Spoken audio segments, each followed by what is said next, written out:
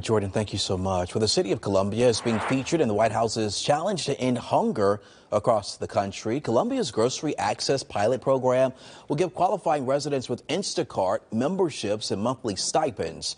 These funds will be used to cover service fees, helping bring fresh meals to those who live in food deserts. More than 65,000 Richland County residents are in need of more healthy food options. This is according to data in 2020.